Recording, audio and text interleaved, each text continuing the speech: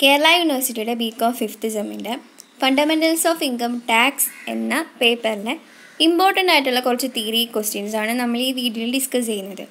Okay അപ്പം ഈ പേപ്പറിന്റെ സിലബസും അതുപോലെ തന്നെ നമ്മുടെ പ്രീവിയസ് ഇയർ ക്വസ്റ്റ്യൻ പേപ്പേഴ്സും ഒക്കെ നോക്കിയിട്ടാണ് ഈ വീഡിയോയിലെ ക്വസ്റ്റ്യൻസ് അറേഞ്ച് ചെയ്തിരിക്കുന്നത്. അപ്പം നിങ്ങൾക്ക് സിലബസ് നിങ്ങളുടെ കയ്യിലില്ല എന്നുണ്ടെങ്കിൽ ഇത് സ്ക്രീൻഷോട്ട് എടുത്ത് വെക്കുക. ഓക്കെ സ്ക്രീൻഷോട്ട് എടുത്ത് വെക്കുക. മോഡ്യൂൾ വൈസ് ചോദിക്കാവുന്ന ഇമ്പോർട്ടന്റ് ക്വസ്റ്റ്യൻസ് നോക്കാം. അപ്പോൾ ഇൻട്രൊഡക്ഷൻ പാർട്ടിൽ ടാക്സ് എന്താണ്? ഇൻകം ടാക്സ് ആക്ട് എന്താണ്? അതുപോലെ തന്നെ assessment year previous year financial year assessee deemed assessee assessee in default ഈ ഡീംഡ് അസസ്സിയും അസസ്സി ഇൻ ഡിഫാൾട്ട് എന്ന് പറയുന്നതും വളരെ ഇമ്പോർട്ടന്റ് ആയിട്ടുള്ള രണ്ട് ടോപ്പിക്കാണ് അത് നിങ്ങൾ നല്ല രീതിയിൽ തന്നെ പഠിച്ചിട്ട് പോവുക. പിന്നെ നമുക്ക് വരുന്നതാണ് എം എം ആർ ഇങ്ങനെ കുറേ ഷോർട്ട് ഫോം തന്നിട്ട് അതെന്താന്ന് ചോദിക്കും. അപ്പോൾ എന്താ ചെയ്യേണ്ടത്? അതിന്റെ ഫുൾ ഫോം എഴുതിയിട്ട് അതിന്റെ മീനിങ് കൂടെ നിങ്ങൾ എഴുതി വെക്കുക. Maximum marginal rate G T I gross total income total income casual income with examples അതൊരു മോസ്റ്റ് ഇമ്പോർട്ടന്റ് ആയിട്ടുള്ളൊരു ഒരു ക്വസ്റ്റ്യൻ തന്നെയാണ്. ഒത്തിരി ക്വസ്റ്റ്യൻ പേപ്പേഴ്സിൽ ചോദിച്ചിട്ടുണ്ട്.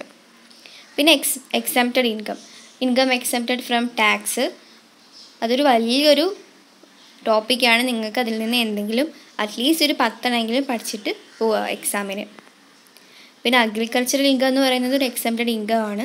അപ്പോൾ അതെന്താണെന്നും ഒരു ക്വസ്റ്റ്യൻ വരാൻ സാധ്യതയുണ്ട്.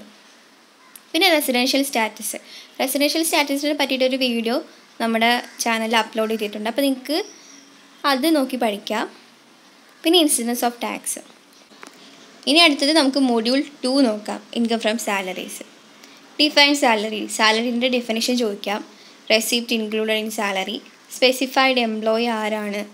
പിന്നെ അലവൻസ് എന്താണ്? അലവൻസ് എന്താണെന്ന് ചോദിക്കാനേ ചാൻസ് ഉള്ളൂ. അത് ഫുള്ളി എക്സംപ്റ്റഡ് അലവൻസ് പഠിച്ചിട്ട് പോവുക അറ്റ്ലീസ്റ്റ് ഒരു ടൂവോ ത്രീയോ അല്ലെങ്കിലും പഠിച്ചിട്ട് പോവുക പിന്നെ പെർക്കിസൈഡ്സ് അതുപോലെ തന്നെ ടാക്സ് ഫ്രീ പെർക്കിസൈഡ്സും പഠിച്ചിട്ട് പോവുക പിന്നെ ഇതുപോലെ നേരത്തെ പറഞ്ഞ പോലെ തന്നെ നമുക്ക് ഷോർട്ട് ഫോം തന്നിട്ട് പി എഫ് എന്താണെന്ന് ചോദിക്കാം. പ്രൊവിഡന്റ് ഫണ്ട് എന്ന രീതിയിൽ അതിന്റെ മീനിങ് എഴുതുക S P F statutory provident fund R P F recognised provident fund U R P F അൺറെക്കഗ് unrecognised provident fund P P F public provident fund പിന്നെ deduction from salary നമ്മുടെ സാലറിയിൽ നിന്ന് വരുന്ന deductions എന്തൊക്കെയായിരുന്നു? സ്റ്റാൻഡേർഡ് ഡിഡക്ഷൻ എന്റർടൈൻമെന്റ് അലോവൻസ് പിന്നെ professional tax ഇത് ഇത്രയും എന്തൊക്കെയാണ് നമ്മൾ ചെയ്യേണ്ടത്? അതിന്റെ റൂൾസും കണ്ടീഷൻസും പഠിച്ചിട്ട് പോവുക പിന്നെ ട്രാൻസ്ഫേർഡ് ബാലൻസ് നമ്മൾ അൺറെക്കഗ്നൈസ്ഡ് പ്രൊവിഡന്റ് ഫണ്ട് റെക്കഗ്നൈസ്ഡ് ആക്കുമ്പം വരുന്ന കാര്യങ്ങൾ പിന്നെ R F A free accommodation H R house rent allowance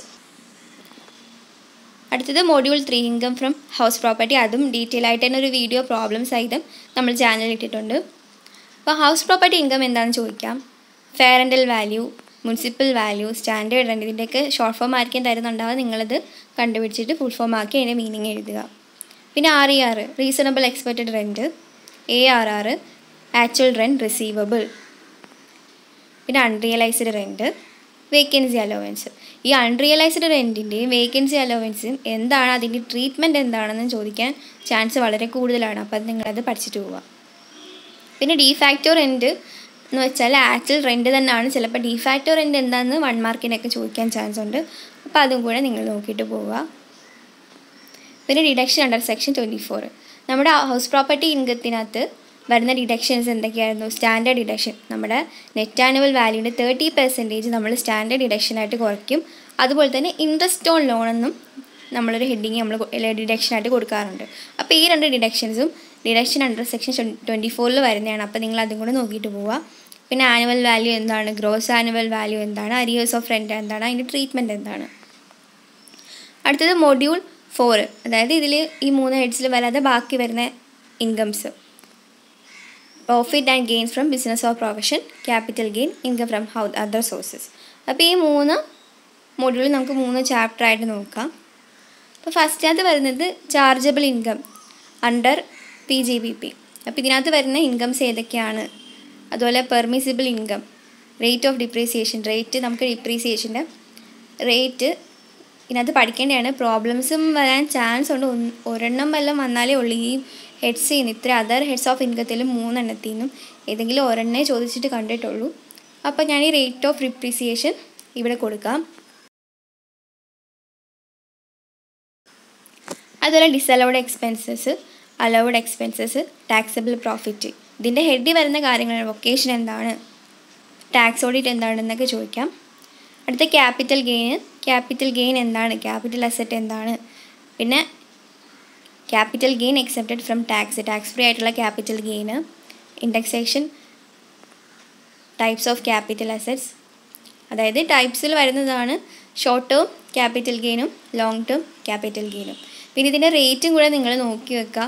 short term capital ഗെയിന്റെ റേറ്റ് ഓഫ് ടാക്സ് എന്ന് പറയുന്നത് ഫിഫ്റ്റി പെർസെന്റേജ് ആണ്. ഫിഫ്റ്റീൻ പെർസെന്റേജ് ആണ്. അതുപോലെ ലോങ് ടേമിന്റെത് ട്വന്റി പെർസെന്റേജ് ആണ്.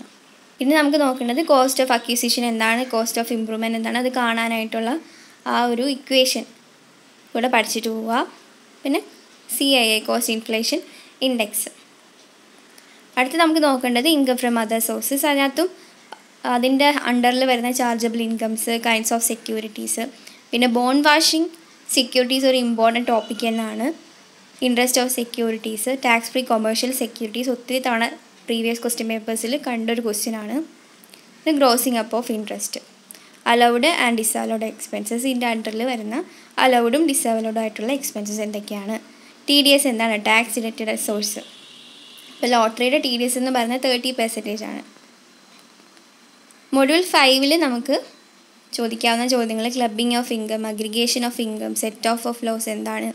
ക്യാരി ഫോർവേഡ് ഓഫ് ലോസ് എന്താണ്? അതുപോലെ C B D T central board of direct tax അതിന്റെ ഫുൾ ഫോം എഴുതിയിട്ട് മീനിങ്ങും കൂടെ അല്ലെങ്കിൽ ഡെഫിനേഷൻ കൂടെ നിങ്ങൾ എഴുതി വെക്കുക. കൺവേർട്ടഡ് പ്രോപ്പർട്ടി എന്താണ് റിബേറ്റ് ഓഫ് ടാക്സ് റിലീഫ് പിന്നെ ഗ്രോസ് ടോട്ടൽ ഇൻകം വരുന്ന പ്രധാന ഡിഡക്ഷൻസ് ഫൈവ് എന്ന് പറയുന്നത് നിങ്ങൾക്ക് എല്ലാം പഠിച്ചു കഴിഞ്ഞിട്ട് ടൈം ഉണ്ടെങ്കിൽ മാത്രം പഠിക്കേണ്ട ഒരു ടോപ്പിക്കാണ് നമുക്ക് മൊഡ്യൂൾ ത്രീ വരെ പഠിച്ചു കഴിഞ്ഞാൽ തന്നെ നല്ല രീതിയിൽ സ്കോർ ചെയ്യാൻ പറ്റും. അത് കഴിഞ്ഞ് നിങ്ങൾക്ക് പഠിക്കാൻ പറ്റുന്നുണ്ടെങ്കിൽ മാത്രം പഠിച്ചിട്ട് പോവാം.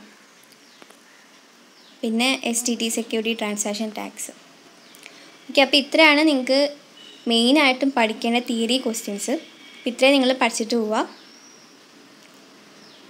ഓക്കെ നിങ്ങൾക്ക് എന്തെങ്കിലും ഇനി ഡൗട്ട്സ് വല്ലതും ഉണ്ടെങ്കിൽ താഴെ കമന്റ് ബോക്സിൽ കമന്റ് ചെയ്താൽ മതി.